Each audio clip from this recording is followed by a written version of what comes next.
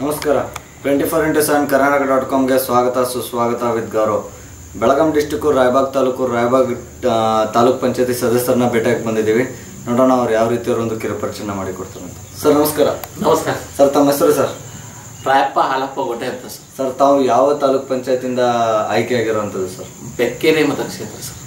ರಾಯಬಾಗ್ ತಾಲೂಕು ಬೆಕ್ಕೇರಿ ರಾಯಬಾಗ್ ರಾಯಬಾಗ್ ತಾಲೂಕ ಬೆಕ್ಕೇರಿ ಮತಕ್ಷೇತ್ರದಿಂದ ನಾನು ತಾಲೂಕ್ ಪಂಚಾಯತಿ ಮೆಂಬರ್ ಆಗಿ ಮೆಂಬರ್ ಆಗಿದ್ದಾರೆ ಮೆಂಬರ್ ಆಗಿದ್ದೀನಿ. ಸರ್ ಸರ್ ಇದು ಫಸ್ಟ್ ಟೈಮ್ ಎಲೆಕ್ಷನ್ ಕಂಪ್ಲೀಟ್ ಮಾಡಿದ್ರಾ ಅಥವಾ ಹಿಂದ್ಗಡೆ ಏನಾದ್ರು ಕಾಂಪೀಟ್ ಮಾಡಿದ್ರ ಸರ್? ಇದು first time sir first time compete ಮಾಡಿದ್ರೆ. ಹೇಗೆ ಅನಿಸ್ತಾ ಇದೆ ಸರ್ ರಾಜಕೀಯ ಜೀವನ?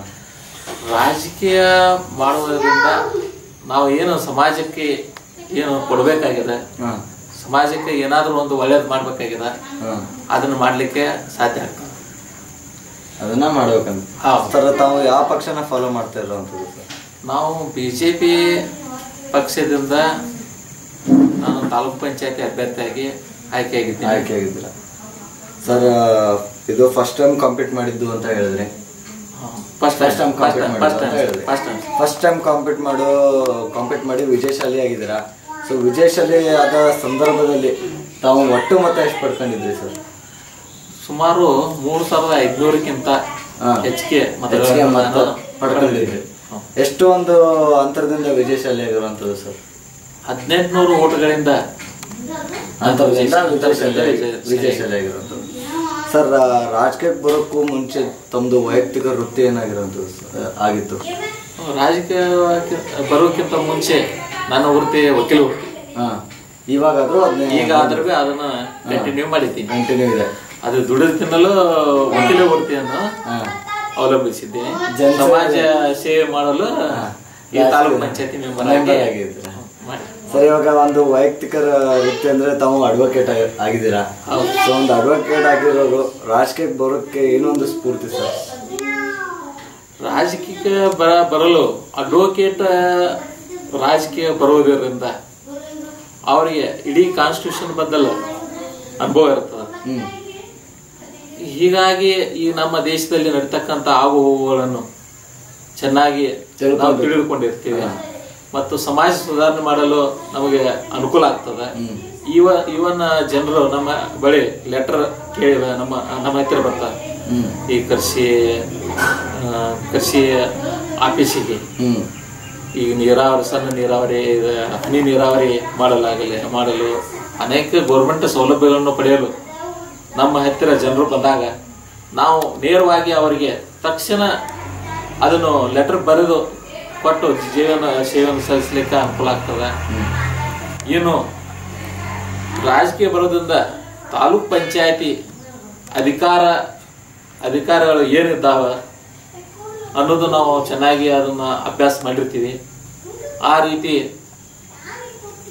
ಜನಸೇವೆ ಮಾಡಲು ತುಂಬ ಅನುಕೂಲ ಆಗ್ತದೆ. ತುಂಬ ಅನುಕೂಲ ಆಗುತ್ತೆ. ಸರ್ ತಮಗೆ ಎಷ್ಟು ವರ್ಷದ ಒಂದು ರಾಜಕೀಯ ಒಡನಾಟ ಇದೆ ಸರ್? ಸುಮಾರು ಎಂಟು ಹತ್ತು ವರ್ಷಗಳಿಂದ ರಾಜಕೀಯ ರಾಜಕೀಯದ ಒಂದು ಒಡನಾಟ ಇದೆ. ಸರ್ ಅದೇ ರೀತಿ ಇವಾಗ ರಾಜಕೀಯ ಬಿಟ್ಟು ತಾವು ಯಾವ್ದಾದ್ರು ಬೇರೆ ಸಂಘ ಸಂಸ್ಥೆಯಲ್ಲಿ ಗುಚ್ಕೊಂಡಿದ್ರೆ ಸರ್? ನಾವು ರೈ ಸೇವಾ ಸಹಕಾರಿ ಸಂಘದಲ್ಲಿ ಡೈರೆಕ್ಟರ್ ಅಂತ ಆಗಿದ್ದೀವಿ. ಇದಲ್ಲದೆ ನಮ್ಮದೇ ಆದಂಥ ಒಂದು ಶಾಲೆಯನ್ನು ಪ್ರಾರಂಭಿಸಿ ಜನಸೇವೆ ಮಾಡಲು ಪ್ರಾರಂಭಿಸಿದ್ದೀವಿ. ಶ್ರೀ ಹಾಲಸಿದ್ದೇಶ್ವರ ಕನ್ನಡ ಮಾಧ್ಯಮ ಕ್ರಿಯಾ ಪ್ರಾಥಮಿಕ ಶಾಲೆ ಕೈರವಾಡಿ ರಾಯಬಾಗ್ ಗ್ರಾಮೀಣ್ ಅಂತ ಒಂದು ಶಾಲೆಯನ್ನು ತೆಗೆದು ತೆಗೆಯೋದು ಮುಖಾಂತರ ಜನಸೇವೆಯನ್ನು ಸಹಿತ ಮಾಡ್ತಾ ಇದ್ದೀವಿ. ಮಾಡ್ತಾ ಇದ್ದೀರಾ ಸರ್? ಸರ್ ಇವಾಗ ಫಸ್ಟ್ ಟೈಮ್ ನಿಂತು ಗೆದ್ದು ಬಂದಿದ್ದೀರಾ? ಮೊದಲಿಗೆ ಅಡ್ವೊಕೇಟ್ ಆಗಿದ್ಕೊಂಡು ಒಂದು ಜನಸೇವೆ ಮಾಡ್ತಾ ಇದ್ರಿ ಒಂದು ಎಂಟತ್ತು ವರ್ಷದಿಂದ. ಸೊ ಇದು ಫಸ್ಟ್ ಟೈಮ್ ನಿಮ್ಗೊಂದು ತಾಲೂಕ್ ಪಂಚಾಯತಿಯಲ್ಲಿ ಅಧಿಕಾರ ಸಿಕ್ಕಿದೆ ಮೆಂಬರ್ ಆಗಿದ್ದುಕೊಂಡು ಸದಸ್ಯರಾಗಿ. ಸೊ ಇವಾಗ ಗೆದ್ದು ಬಂದ ನಂತರ ನಿಮ್ಮ ಒಂದು ಕ್ಷೇತ್ರದಲ್ಲಿ ಒಂದು ಮೂರು ವರ್ಷ ಅವಧಿ ಕಳೆದಿದ್ರ ಸೊ ಈ ಮೂರು ವರ್ಷ ಅವಧಿಯಲ್ಲಿ ನೀವು ಯಾವ ರೀತಿ ಜನಸೇವೆ ಸಲ್ಲಿಸ್ತಾ ಬಂದ್ರಿ ಸರ್? ಯಾವ ರೀತಿ ಒಂದು ಅಭಿವೃದ್ಧಿಗೊಳಿಸ್ತಾ ಬಂದ್ರಿ? ಮೊಟ್ಟ ಮೊದಲಿಗೆ ಎರಡ್ ಸಾವಿರ ಹನ್ನೊಂದು ಹನ್ನೊಂದರಲ್ಲಿ ಜನವರಿಯಲ್ಲಿ ನಾನು ಆಯ್ಕೆ ಇದೆ. ಆಯ್ಕೆ ಆದ ನಂತರ ಬಿ ಜೆ ಪಿ ಸರ್ಕಾರದವರು ಒಂದು ಕೋಟಿ ಅನುದಾನವನ್ನು ತಾಲೂಕ್ ಪಂಚಾಯತಿಗೆ ಮಾಡಿದರು. ಒಂದು ಕೋಟಿ ಮಾಡಿದ್ರಿಂದ ನಾವು ಸುಮಾರು ಮೂವತ್ತೆರಡು ಮಂದಿ ತಾಲೂಕ್ ಪಂಚಾಯತಿ ಮೆಂಬರ್ಗಳು ಇದ್ದಿದ್ದೇವೆ. ನನ್ನ, ನನಗೆ ಎರಡು ಲಕ್ಷ ಎಂಬತ್ತೈದು ಸಾವಿರ, ಮೊಟ್ಟ ಮೊದಲಿಗೆ ಎರಡು ಲಕ್ಷ ಎಂಬತ್ತೈದು ಸಾವಿರ ರೂಪಾಯಿ ಅನುದಾನ ಈ ಸುಧಾರಣೆ, ಈ ಕ್ಷೇತ್ರ ಸುಧಾರಣೆ ಮಾಡಲು ಸಿಕ್ಕಿತು. ಮೊಟ್ಟ ಮೊದಲಿಗೆ ನಾನು ಕಲಿತಂಥ ಶಾಲೆ ರಿಪೇರಿ ಸಲುವಾಗಿ ಮೊಟ್ಟ ಮೊದಲಿಗೆ ಒಂದು ಲಕ್ಷ ರೂಪಾಯಿಗಳನ್ನು ಖರ್ಚು ಮಾಡಲು ತಿಳಿಸಿದೆ.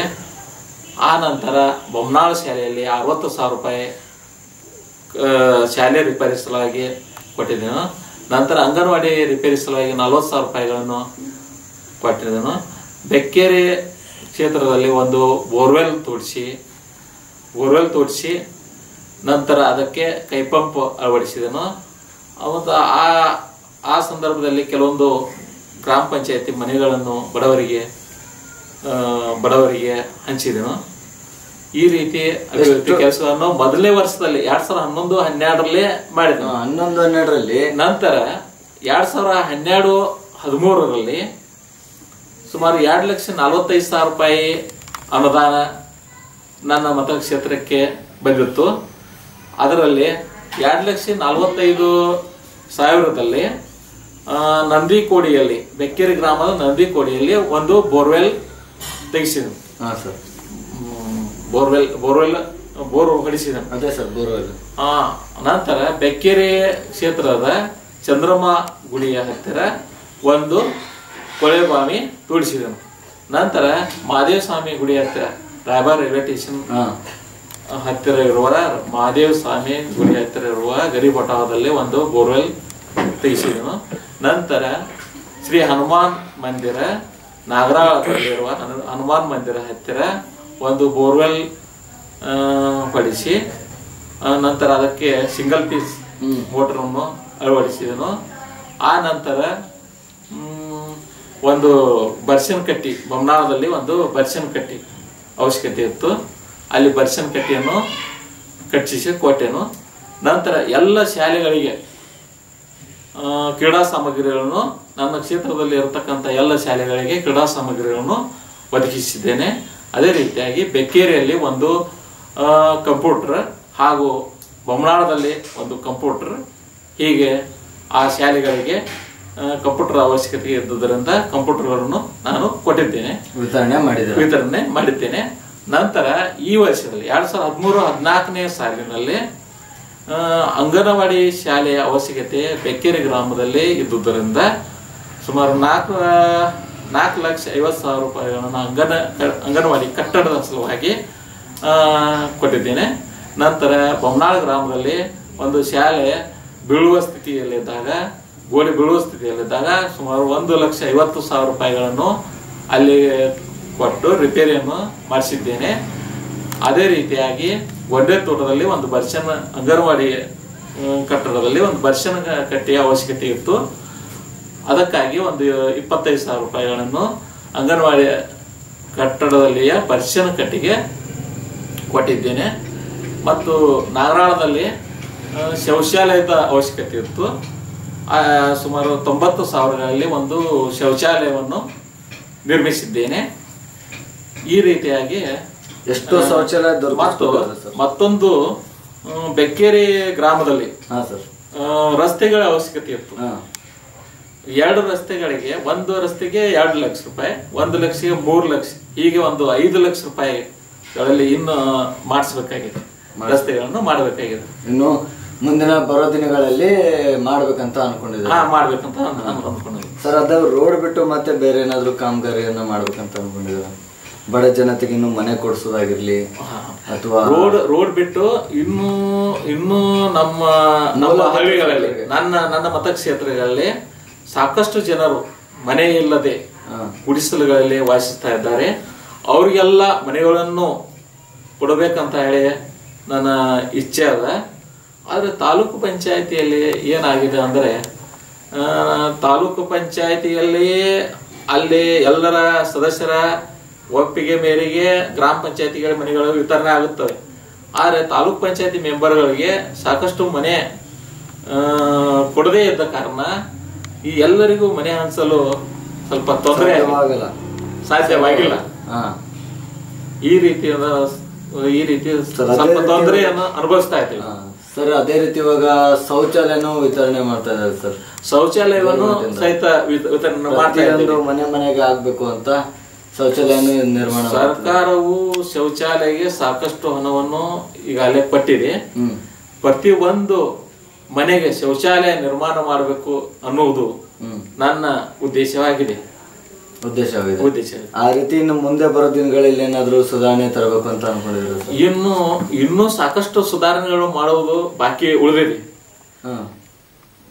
ಅಂದ್ರೆ ಇವಾಗ ನಿಮ್ಮ ಕ್ಷೇತ್ರದಲ್ಲಿ ಪ್ರತಿಯೊಂದು ಮನೆ ಮನೆಗೆ ಶೌಚಾಲಯ ಕಟ್ಟುವಂತ ಒಂದು ಕಾರ್ಯಕ್ರಮ ಹಮ್ಕೋಬೇಕಂತ ಏನಾದ್ರು ಅನ್ಕೊಂಡಿದ್ರೆ ನಿಮ್ಗೆ ಒಂದು ಬಡ ಜನತೆಗೆ ಯಾರಿಗಿಲ್ಲ.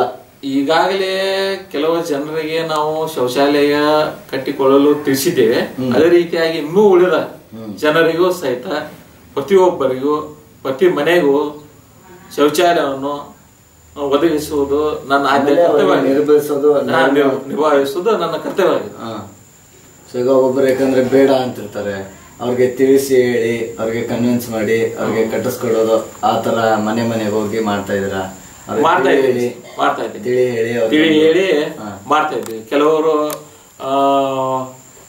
ತೋಟದಲ್ಲಿ ಇರ್ತಕ್ಕಂತ ಕೆಲವೊಂದು ಕೃಷಿಕರು ಕೃಷಿಕರು. ತಮ್ಮ ನಮಗೆ ಏಕೆ ಶೌಚ ಶೌಚಾಲಯ ಅಂತ ಅನ್ನೋ ಸ್ಥಿತಿಯಲ್ಲಿ ಇರ್ತಾರೆ. ಆದರೂ ಬಯಲು ಮೂತ್ರ ವಿಸರ್ಜನೆ ಆಗಲಿ ಮಲ ವಿಸರ್ಜನೆ ಮಾಡೋದರಿಂದ ಯಾವ ರೀತಿ ತೊಂದರೆ. ಸಮಾಜಕ್ಕೆ ತೊಂದರೆ ಆಗ್ತದ ಅಂತ ಹೇಳಿ ನಾನು ತಿಳಿಸ್ಕೊಟ್ಟಿದ್ದೀನಿ. ಹಾ ಆದರೂ ಶೌಚಾಲಯ ಕಟ್ಕೊಳ್ಳೋ ಥರ ಒಂದು ಇದನ್ನ ಮಾಡ್ತಾ ಇದ್ದೀವಿ ಸರ್ ಅದೇ ರೀತಿ ಇವಾಗ ಇಷ್ಟೊಂದು ನಿಮ್ಮ ಅವಧಿಯಲ್ಲಿ ಇಷ್ಟೊಂದು ಅಭಿವೃದ್ಧಿ ಕೆಲಸ ಕಾರ್ಯಗಳನ್ನ ಮಾಡ್ತಾ ಬಂದ್ರಿ ಈ ಒಂದು ಮೂರು ವರ್ಷ ಪೀರಿಯಡ್ ಅಲ್ಲಿ. ಅದೇ ರೀತಿ ತಾವು ಮಾಡೋದಲ್ಲದೆ ಎಂ ಎಲ್ ಎ ಅವ್ರ ಕಡೆಯಿಂದ ಆಗಿರ್ಬೋದು ಎಂ ಪಿ ಅವ್ರ ಕಡೆಯಿಂದ ಆಗಿರ್ಬೋದು ಅವ್ರ ಕಡೆಯಿಂದ ಯಾವ್ದಾದ್ರು ಕೆಲಸ ಕಾರ್ಯಗಳನ್ನ ಮಾಡಿಸಿದಾರೆ ಸರ್ ಫಂಡ್ ತಗೊಂಡ್ಬಂದು ಎಂ ಎಲ್ ಎ ಅವರು ಕಡೆಯಿಂದ ಎಂ ಎಲ್ ಎ ಅವರಿಗೂ ಆಗಿ ಸಹಿತ ಈ ಕೆಲವೊಂದು ರಸ್ತೆ ಮೇನ್ ರಸ್ತೆ. ರಸ್ತೆಗಳು ಹೇಳಿದಾಗ ಅವರು ಆ ರಸ್ತೆಗಳನ್ನು ಮಾಡಿದ್ದಾರೆ. ಮತ್ತು ದೇವಸ್ಥಾನಗಳಿಗೆ ದೇವಸ್ಥಾನ ಸುಧಾರಣೆ ಸಲುವಾಗಿ ಅಮೌಂಟ್ ಅನ್ನು ಕೊಟ್ಟಿದ್ದಾರೆ. ಮತ್ತು ಅಲ್ಲಿ ನಮ್ಮ ನಮ್ಮ ಗ್ರಾಮದಲ್ಲಿ ಆ ಓಣಿ ಓಣಿ ಕಾಂಕ್ರೀಟ್ ರೋಡ್ ಕಾಂಕ್ರೀಟ್ ರೋಡ್ ಮಾಡಲು ಸಹಿತ ಸಹಾಯ ಮಾಡಿದ್ದಾರೆ. ಸಹಾಯ ಮಾಡಿದ್ದಾರೆ. ಅದೇ ರೀತಿನ ಮುಂದೆ ಬರೋ ದಿನಗಳಲ್ಲಿ ಏನಾದರೂ ಅವ್ರ ಕಡೆಯಿಂದ ಮತ್ತೆ ಒಂದ್ ಸ್ವಲ್ಪ ಫಂಡ್ ತಗೊಂಬಂದು ಏನಾದ್ರು ಅಭಿವೃದ್ಧಿಗೊಳಿಸೋಣ ಅಂತ ಅನ್ಕೊಂಡಿದ್ರ ಇನ್ನು ಯಾವ ಕೆಲಸ ಅವ್ರ ಕಡೆಯಿಂದ ಮಾಡಿಸ್ಬೇಕಂತ ಏನಾದ್ರು ಅನ್ಕೊಂಡಿದ್ರ ಸರ್? ಇನ್ನೂ ಇನ್ನೂ ನಮ್ಮ ಬಸ್ತಿಗಜ ದೇವಸ್ಥಾನಕ್ಕೆ ಒಂದು ಒಂದು ಒಂದು ಬಿಲ್ಡಿಂಗ್ ಅದ ಅವಶ್ಯಕತೆ ಇದೆ. ಹಾ. ಸೊ ಅದನ್ನು ಸಹಿತ ಅವ್ರ ಕಡೆ ಹೋಗಿ ಹೇಳಿ ತಿಳಿಸಿ ಹೇಳಿ ಅವ್ರ ಕಡೆ ತರಬೇಕಂತ ಹೇಳಿ ವೀಕ್ಷಿಸಿದ್ದೇವೆ ಹಾ. ಮತ್ತು ಇನ್ನೂ ಕೆಲವೊಂದು ಕಡೆ ಕಾಂಕ್ರೀಟ್ ರೋಡು ಓಣಿಯಲ್ಲಿ ಆಗಿಲ್ಲ. ಓನೆಯಲ್ಲಿ ಓಣಿಯಲ್ಲಿ ಆಗಿಲ್ಲ. ಅದನ್ನು ಮಾಡಿಸ್ಬೇಕಂತ ಅದನ್ನು ಮಾಡಿಸ್ಬೇಕಂತ ಅಂತ ಮಾಡಿದ್ದೀನಿ. ಇನ್ನು ಸ್ವಲ್ಪ ನೀರಿನ ಸೌಕರ್ಯ ಸೌಕರ್ಯ. ಇಲ್ಲೊಂದು ಕೆರೆ ನಮ್ಮ ಊರಿಗೆ ಒಂದು ಕೆರೆ ತೋಡಿಸಿ ಶಾಶ್ವತ ನೀರು ನೀರು ಸಿಗೋ ಹಾಗೆ ಸಿಗೋ ನನ್ನ ತಲೆ ಒಳಗಿದೆ. ಮತ್ತು ಕೆನಾಲ್ ನೀರಿನಿಂದ ಈಗಾಗಲೇ ನೀರನ್ನು ತಂದು ಕೆರೆಗಳನ್ನು ತುಂಬಿಸಿದ್ದೀವಿ. ಇದರಿಂದ ನಮ್ಮ ಎಲ್ಲ ಜನರಿಗೆ ನಮ್ಮ ಊರ ಎಲ್ಲ ಜನರಿಗೆ ಅನುಕೂಲ ಸಹಿತ ಆಗಿದೆ. ಆಗಿದೆ.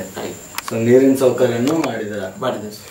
ಸರ್ ಅದೇ ರೀತಿ ಇವಾಗ ತಮ್ಮ ಕ್ಷೇತ್ರದಲ್ಲಿ ತಮ್ಮ ಜನರ ಜೊತೆ ಯಾವ ರೀತಿ ಒಂದು ಒಡನಾಟ ಇಟ್ಕೊಂಡಿದ್ರ ಸರ್? ಯಾವ ರೀತಿ ಒಂದು ಸಂಪರ್ಕ ಇಟ್ಕೊಂಡಿದ್ರು ನಾನು ನಮ್ಮ ಜನರ ಜೊತೆ ನಡೆದುಕೊಳ್ಳುವ ರೀತಿ ಅಥವಾ ಅಂದ್ರೆ ನಾನು ಒಬ್ಬ ಜನರ ಸೇವಕ. ನಾನು ನಿಮ್ಮ ಆಳು ಮನುಷ್ಯ. ನೀವು ನನಗೆ ಅಧಿಕಾರ ಕೊಟ್ಟಿದ್ದೀರಿ. ನಾನು ಒಬ್ಬ ನಿಮ್ಮ ನಿಮ್ಮ ಆಳು ಮನುಷ್ಯ. ನೀವು ನನಗೆ ಯಾವುದೇ ಕೆಲಸ ಇದ್ದರೂ ತಿಳಿಸ್ರಿ. ನನ್ನಿಂದ ಆದಷ್ಟು ಮಟ್ಟಿಗೆ ನಿಮ್ಮ ಸೇವೆ ಸಲ್ಲಿಸ್ತೀನಿ ಅಂತ ಹೇಳಿ ನಾವು ಒಂದು ಒಳ್ಳೆಯ ಬಾಂಧವ್ಯವನ್ನು ಇಟ್ಕೊಂಡಿದ್ದೆ. ಇಟ್ಕೊ ಬೆಳೆಸ್ಕೊಂಡಿದ್ದೆ. ಬೆಳೆಸ್ಕೊಂಡಿದ್ದೀವಿ ಸರ್ ಅದೇ ರೀತಿ ಇವಾಗ ತಮ್ಮ ಕುಟುಂಬದಿಂದ ರಾಜಕೀಯಕ್ಕೆ ಬರೋದು ತಾವೇ ಮೊದಲ ಅಥವಾ ಹಿಂದ್ಗಡೆ ಯಾರಾದರೂ ಹಿರಿಕರಿದ್ರ ಸರ್? ನಮ್ಮ ತಂದೆಯವರು ಸಹಿತ ಸಮಾಜದ ಏಳಿಗೆಗಾಗಿ ಶ್ರಮಿಸುತ್ತಿದ್ದರು ಸಮಾಜದ ಬಡ ವರ್ಗ ವರ್ಗದ ಜೊತೆಗೆ ಹೆಚ್ಚು ಹೆಚ್ಚು ಸಂಬಂಧವನ್ನು ಹೊಂದಿದ್ದರು. ಯಾವುದೇ ಒಂದು ಮದುವೆ ಕಾರಣ ಇರಲಿ ಅಥವಾ ಯಾವುದೇ ಒಂದು ಅಡಚಣೆ ಒಳಗಿದ್ರೆ ಅಡಚಣೆ ಒಳಗಿದ್ರೆ ತಕ್ಷಣ ಸಹಾಯ ಮಾಡ್ತಾ ಇದ್ರು ಅವರ ಆಶೀರ್ವಾದ ನನ್ನ ಮೇಲೆ ಇದ್ದುದರಿಂದ ಈ ರಾಜಕೀಯ ಅಂದ್ರೆ ನಿಮ್ಮ ತಂದೆಯವರ ಕಾಲದಿಂದನೂ ರಾಜಕೀಯ ಹಂಗೆ ಬೆಳ್ಕೊಂಡು ಬಂದಿರೋದು ಬೆಳೆದುಕೊಂಡು ಬಂದ್ರು. ಅಂದ್ರೆ ಅವರಿಂದನೇ ಆರಂಭ start ಆಗಿರೋದು. ಪ್ರಾರಂಭ ಆಗಿರೋದು ಅಂತ ಹೇಳಕ್ ಇಷ್ಟಪಡ್ತಾರೆ ಸರ್ ಅದೇ ರೀತಿ ಇವಾಗ ತಾವು ರಾಜಕೀಯಕ್ಕೆ ಬರೋದಕ್ಕೆ ತಮ್ಗೆ ಗುರುಗಳು ಸ್ಫೂರ್ತಿ ಬೆನ್ನೆಲುಬು ಅಂತ ಯಾರಾದ್ರೂ ಇದಾರ ಸರ್ ನಾನು ರಾಜಕೀಯ ಬರೋಕ್ಕಿಂತ ಮುಂಚೆ ನಾನು ಬಿ ಜೆ ಪಿ ಕಾರ್ಯಕರ್ತನಾಗಿ ಕೆಲವ ಸ್ನೇಹಿತರ ಜೊತೆ ಜೊತೆ ಸೇರಿಕೊಂಡು ಸಮಾಜದ ಕೆಲವು ಸ್ನೇಹಿತರ ಜೊ ನಮ್ಮ ಊರಿನ ಕೆಲವು ಸ್ನೇಹಿತರ ಜೊತೆ ಸೇರಿಕೊಂಡು ಸಮಾಜದ ಕೆಲಸವನ್ನು ಮಾಡ್ತಾ ಇದ್ದೆ. ನಂತರ ಎಂ ಎಲ್ ಎ ಅವರು ಎಲೆಕ್ಷನ್ ಬಂದ ನಂತರ ಎಲ್ಲ ನನ್ನ ಸ್ನೇಹಿತರು, ನೀನೇ ಸೂಚಕನಾಗು ಎಂ ಎಲ್ ಎ ಅವರಿಗೆ ನೀನೇ ಸೂಚಕನಾಗು ಅಂತ ಹೇಳಿದರು. ಆ ರೀತಿಯಾಗಿ ಸೂಚಕನಾಗಿ ನಾನು ಒಂದು ತಿಂಗಳ ಒಂದು ತಿಂಗಳು, ದೇಡು ತಿಂಗಳವರೆಗೆ ಪ್ರಮಾಣಿಕನಾಗಿ ಕೆಲಸ ಮಾಡಿದೆ ನಂತರ ತಾಲೂಕ್ ಪಂಚಾಯತಿ ಇಲೆಕ್ಷನ್ ಬಂದಿದ್ದರಿಂದ ತಾಲೂಕು ಪಂಚಾಯತಿ ಇಲೆಕ್ಷನ್ ಬಂದಿದ್ದರಿಂದ ನನಗೆ ಬಿ ಫಾರ್ಮನು ನಮ್ಮ ಅಣ್ಣ ಅವರು, ವಿವೇಕಣ್ಣ ಪಾಟೀಲ್ ಅವರು ಮತ್ತು ಎಂ ಎಲ್ ಅವರು ಕೂಡಿಕೊಂಡು ನನಗೆ, ಬಿ, ನನಗೆ ತಾಲೂಕ್ ಪಂಚಾಯತಿ ಇಲೆಕ್ಷನ್ಗೆ ನಿಲ್ಲಲು ಅಂದ್ರೆ ಅವರೇ ನಿಮ್ಮ ಇವಾಗ ಒಂದು ಅವರೇ ನಿಮ್ಮ ಸ್ಫೂರ್ತಿ ಅವರೇ ನಿಮ್ಗೊಂದು ಗುರು ಅಂತ ಹೇಳ್ಬೋದು. ಈಗ. ಗುರು ಅಂದ್ರೆ ನಮ್ಗ ವಿವೇಕಾನಂದ ಪಾಟೀಲ್ ಅಂತ. ಅವರೇ ನಮಗೆ ಅವರೇ ನಿಮ್ಗೆ ಗುರು. ಗುರು. ಅವ್ರಿಗೆ ನಮ್ಮ twenty four into seven Karnataka dot com ಮೂಲಕ ಏನಾದರೂ ಒಂದು ಸಿಹಿ ಮಾತನ್ನ ಹೇಳ್ತೀರಾ ಸರ್? ನನಗೆ ಆಶೀರ್ವದಿಸಿ ರಾಜಕೀಯದಲ್ಲಿ ಬೆಳೆಯಲಿಕ್ಕೆ ಅನುಕೂಲ ಮಾಡಿದಂಥ ಸನ್ಮಾನ್ಯ ಶ್ರೀ ವಿವೇಕನ ಪಾಟೀಲ್ ಅವರಿಗೂ ಹಾಗೂ ಶ್ರೀ ಪ್ರತಾಪನ ಪಾಟೀಲ್ ಅವರಿಗೂ ಹಾಗೂ ಶ್ರೀ ಪ್ರಣಯನ ಪಾಟೀಲ್ ಅವರಿಗೂ ನಾನು ತುಂಬ ಹೃದಯದಿಂದ ಕೃತಜ್ಞತೆಯನ್ನು ಸಲ್ಲಿಸುತ್ತೇನೆ. ಸಲ್ಲಿಸ್ತಾರೆ. ಸರ್ ಅದೇ ರೀತಿ ಇವಾಗ ಈ ಒಂದು ಸ್ಥಾನದಲ್ಲಿ ಕೂತ್ಕೋಬೇಕಂದ್ರೆ ನಿಮ್ಮ ಜನತೆನೇ ಕಾರಣ. ಓಟ್ ಕೊಟ್ಟು- ಓಟ್ ಕೊಟ್ಟು ಗೆಲ್ಸಿ ಇಲ್ಲಿವರೆಗೂ ತಗೊಂಬಂದಿದ್ದಾರೆ. ಒಂದು ಜನಸೇವೆ ಮಾಡಕ್ಕೆ ಅವಕಾಶ ಮಾಡಿಕೊಟ್ಟ ಜನತೆಗೆ. ನಮ್ಮ twenty four into seven Karnataka dot com ಮೂಲಕ ಅವ್ರಿಗೂ ಕೂಡ ಕೊನೆಯದಾಗಿ ಏನೋ ಒಂದು ಸಿನಿಮಾ ಹೇಳಕ್ಕೆ ಇಷ್ಟಪಡ್ತೀರಾ ಸರ್? ನನ್ನ ಬೆಕ್ಕೇರಿ ಮತಕ್ಷೇತ್ರದಲ್ಲಿ ಬರುವಂಥ ಎಲ್ಲ ಎಲ್ಲ ನನ್ನ ಅಣ್ಣ ತಮ್ಮಂದರಿಗೂ, ಅಕ್ಕ ತಂಗಿಯಂದರಿಗೂ, ತಾಯಂದರಿಗೂ, ಎಲ್ಲರಿಗೂ ನಾನು ಸೇವೆ ಮಾಡಲು, ತಮ್ಮ ಸೇವೆ ಮಾಡಲು ಅನುಕೂಲ ಮಾಡಿಕೊಟ್ಟಂಥ ತಮ್ಮೆಲ್ಲರಿಗೂ ತುಂಬವರೆದ ಕೃತಜ್ಞತೆಯನ್ನು ಸಲ್ಲಿಸುತ್ತೇನೆ. ಸಲ್ಲಿಸಕ್ಕೆ ಇಷ್ಟಪಡ್ತೀರಾ ಅವ್ರಿಗೆ? ಇಷ್ಟ. ಸಲ್ಲಿಸ್ತೀರಾ? ಹಾ. ನೋಡಿದ್ರಲ್ಲ ಸರ್ ಯಾವ ರೀತಿ ಅವರೊಂದು ಒಂದು ಕಿರುಪರಿಚಯ ಮಾಡಿಕೊಟ್ರು ಅವರೊಂದು ವಕೀಲ ವೃತ್ತಿಯಲ್ಲಿ ಇದ್ಕೊಂಡು ಕೂಡ ಎಷ್ಟು ಜನಸೇವೆ ಮಾಡೋದ್ರಲ್ಲಿ ಅವ್ರಿಗೊಂದು ಎಷ್ಟು ಹುಮ್ಮಸ್ಸಿದೆ ಅವರು ಯಾವ ರೀತಿ ಒಂದು ಜನಸೇವೆ ಸಲ್ಲಿಸ್ತಾ ಬಂದಿದ್ದಾರೆ ಎಷ್ಟೊಂದು ಅಭಿವೃದ್ಧಿ ಕೆಲಸ ಕಾರ್ಯಗಳನ್ನು ಮಾಡಿದ್ದಾರೆ ಮಕ್ಕಳಿಗೆ ಆಗಿರ್ಬೋದು ಶಾಲೆ ಆಗಿರ್ಬೋದು ದೇವಸ್ಥಾನ ಆಗಿರ್ಬೋದು ಪ್ರತಿಯೊಂದರಲ್ಲೂ ಅಭಿವೃದ್ಧಿ ಕೆಲಸ ಕಾರ್ಯಗಳನ್ನು ಮಾಡ್ತಾ ಬಂದಿದ್ದಾರೆ ಎಂ ಎಲ್ ಎ ಅವ್ರ ಕಡೆಯಿಂದ ರೋಡ್ಸ್ ಆಗಿರ್ಬೋದು ಪ್ರತಿಯೊಂದು ಎಷ್ಟೊಂದು ಅಭಿವೃದ್ಧಿಗೊಳಿಸ್ತಾ ಬಂದಿದ್ದಾರೆ ಈ ಮೂರು ವರ್ಷ ಅವಧಿಯಲ್ಲಿ. ಇನ್ನೂವರೆಗೆ ಎರಡು ವರ್ಷ ಕಾಲಾವಧಿ ಇದೆ. ಅದರಲ್ಲೂ ಕೂಡ ಅವರೊಂದು ಊರಲ್ಲಿ ನೀರಿನ ಸೌಕರ್ಯಕ್ಕೆ ಒಂದು ಕೆರೆ ನಿರ್ಮಾಣ ಮಾಡಬೇಕಂತ ಹೋರಾಟ ಮಾಡ್ತಿದ್ದಾರೆ. ಅವ್ರು ಏನೆಲ್ಲ ಮುಂದೆ ಬರೋ ದಿನಗಳಲ್ಲಿ ಏನೆಲ್ಲ ಕನಸಿಟ್ಟಿದ್ದಾರೆ ಎಲ್ಲ ಕನಸು ನನಸಾಗಲಿ ಮುಂದೆ ಬರೋ ದಿನಗಳಲ್ಲಿ ಏನೆಲ್ಲ ಅಭಿವೃದ್ಧಿ ಕೆಲಸ ಕಾರ್ಯಗಳನ್ನು ಮಾಡ್ತಾರೆ ಆ ಎಲ್ಲ ಕೆಲಸ ಕಾರ್ಯಗಳಲ್ಲಿ ಯಶಸ್ಸಾಗಲಿ ಅಂತ ಹಾರೈಸ್ತಾ ಎಷ್ಟು ಕಾಲ ನಮ್ಮ ಜೊತೆ ಮಾತಾಡೋದಕ್ಕೆ ತುಂಬ ಧನ್ಯವಾದಗಳು. ಧನ್ಯವಾದಗಳು. ನಮಸ್ಕಾರ. ನಮಸ್ತೆ.